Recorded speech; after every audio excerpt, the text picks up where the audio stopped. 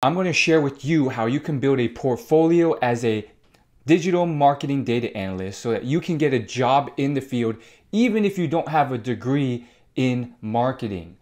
I know because I've been doing this job for many, many years, and I've even been on the other side of the hiring table as a hiring manager.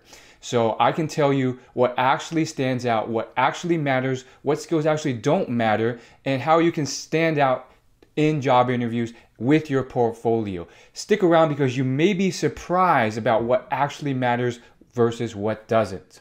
So I'm going to give you five key things that you want to add to your portfolio and some resources and websites on how you can go about and actually add these things and build a really cool portfolio that really stands out from all the other job candidates.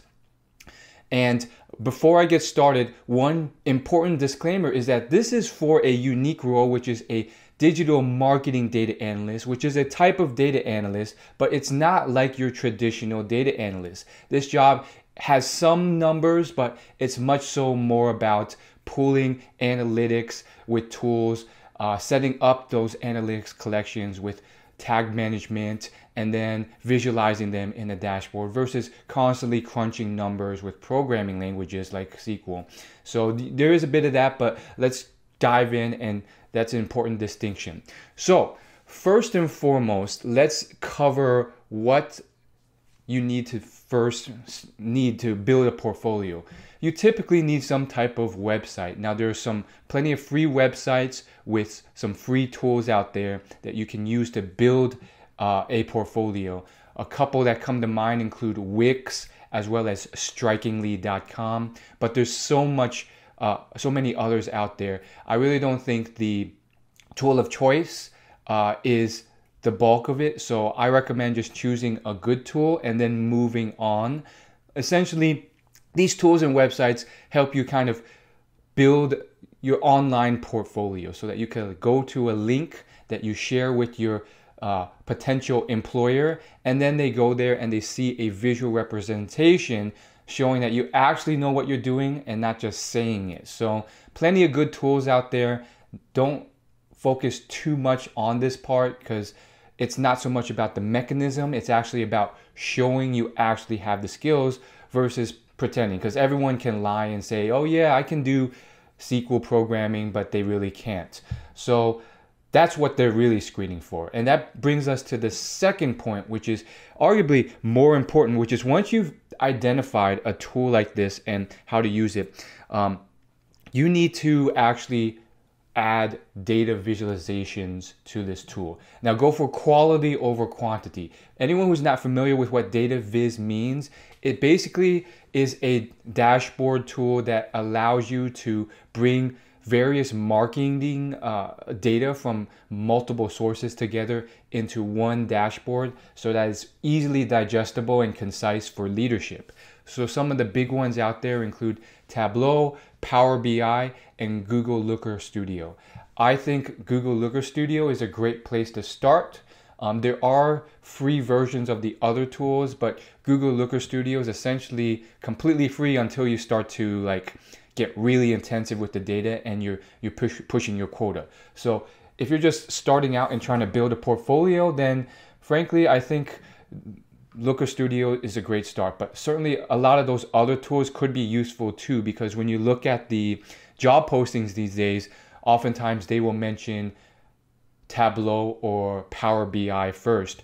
So see what you can do, but essentially what you want to do is you're not trying to build tons of different dashboards and and increase the quantity as much as you are trying to really demonstrate you know what you're doing. So quality first over quantity just do, you know, one really good dashboard, show some visualizations, uh, maybe a link out to it, some screenshots, and show that you've, you're actually able to play with this data and turn it into something useful. There's sample data online you can pull, them, and then you got to turn that into actually useful questions that leaders actually want. You can kind of tell the level of experience um, depending on what type of questions you answer with these data viz tools. There's certainly been um, some more beginners I've seen in the job candidate screening process where you you just know they don't really know they don't have that experience yet because the questions that they try and answer with the tools are not things that leaders would actually care about. So, you know, an example would be what is the gender ratio of this website? I mean, that's certainly something semi useful, but it's not something that leaders are typically asking and pressing for. So that's usually more of an indicator to me when I'm screening it that they're just pulling numbers for the sake of pulling numbers because there's a metric out there for it. So some sample business questions that you could put in the heading of, of that dashboard and then have charts underneath could be something like um, how much traffic is coming to the site and what's the tra- traffic breakdown by uh, marketing channel. And then, you know, of that traffic, how much of that traffic is actually converting to sales or converting to a lead or taking a key action? And so these are some key things that leaders actually care about that's often asked. So, moving on to number three, the third thing that you want to consider is programming languages. Now, as mentioned, it's not going to be as intensive as a typical you know data analyst or data scientist, but typically they wouldn't mind, they actually care about some light SQL and programming experience. If you have a bit of Python, sometimes that matters too, depending on a job posting. Always go back to the job posting because they're not just writing bullets in there for the sake of it. Those technical skills are things that they actually care about. And so when you don't have them, don't just say, oh, I'm screwed. Say, how can I get them? There are some really affordable Udemy courses for 20 bucks that'll teach you from A to Z how how to program SQL. So there's plenty of resources out there that you can use to bring into your portfolio. One of them is a website called Kaggle. That's K A G G L E. And it'll provide a bunch of sample SQL data sets for you.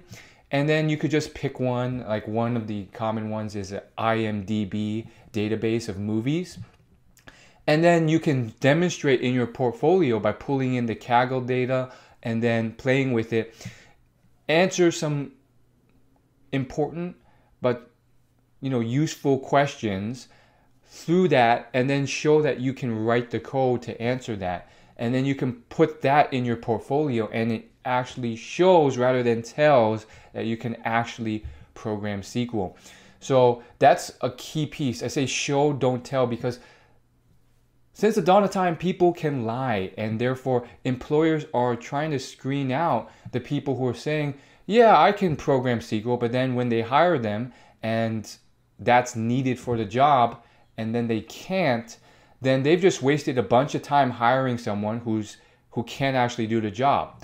So just saying you could do something, oftentimes, even if you can, is the lowest form of persuasion. People are skeptical by nature, hiring managers rightfully so. So actually showing that on your portfolio is going to be a huge win. And that brings us to point number four, which is tag management tools.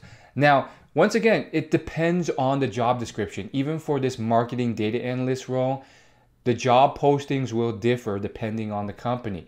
So focus on what's being listed in terms of technical skills on that job posting. That will guide your way. Sometimes it's going to be tag management, other times it's going to be analytics web tools. So some examples, probably the most common examples of these is Google Tag Manager or Google Analytics 4. And you know, you may be wondering, well, what is a tag manager? Like, how do I get that experience? A tag manager is essentially something where, you know, with one tool, you can insert all the other uh, analytics tools that you want on the website in an organized, clean way. That way, you don't have to like mess up the site by inserting them all individually and hard coding them onto the site. So, um, there's actually tutorials out there by YouTube channels like Measure School and Analytics Mania that will teach you from A to Z how to become proficient with a tag manager um, and or with a web analytics tool like Google Analytics 4. But you got to show that once again. So once you have those skills, which you can teach yourself, then you have to demonstrate that. My favorite way is just you know spend a little bit of money and build your own website and then show that you're setting up these tools and using them. Now, the ultimate way is if you have previous experience in the job building these things and using them. So for me, I had some light experience uh, at my previous agency using and working with these tools, uh, having worked at a top performance marketing digital marketing agency. Now, I wasn't an expert, I wasn't even proficient, but I had enough experience that I could talk about them and use them at a fundamental level and understand them. And by you know demonstrating that maybe showing some screenshots maybe a video walkthrough of you setting up some tag management to track something custom on the site. Because that's another big thing that these tools do. They let you track something custom that the out of the box google analytics won't track. So google analytics may track traffic and engagement and bounce rate uh, and uh, yeah, they recently brought back bounce rate. They, they removed it from G uh, Google Analytics 4, but now they bring, brought it back. But yeah, um, they recently have these like simple things uh, that they track, but tag management also allows you to track custom things like button clicks, add to carts, purchase orders, lead confirmations, form submissions. So those are things that you need to be able to talk to at a fundamental level and then show that you actually know what you're talking about and you can actually set it up. So that's something worth adding to your portfolio if you don't have it already. Doesn't have to be fancy or use some tool. Get a free screen recorder software or something simple and then put it on there. And then last but not least, the fifth thing that you want to do is add some level of presentation, usually in the form of a slide deck or a video demo or video walkthrough, a screen share where you bring together all those other skill sets that you've added to your portfolio and demonstrate you have good communication skills and presentation skills. And then you go through and show what you've delivered. And you can also attach this to the portfolio as a video of some sort or or a slide deck. Because at the end of the day the point of hiring you and the value you bring as a marketing data analyst is not just to play with numbers or crunch numbers, but really to pull those numbers into something significant, concise, digestible, and useful so that leaders can actually see that visualization and benefit from it based off their goals and the pressing questions that they care about. So being able to articulate that concisely and cleanly with your communication and then with your visualizations is going to be a huge plus that'll put you over your competition.